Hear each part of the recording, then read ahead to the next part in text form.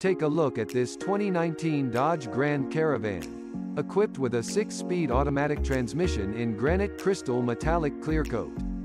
This car comes with some great features including alloy wheels, power outlet, anti-lock brakes, backup camera and more. Come in and check it out today.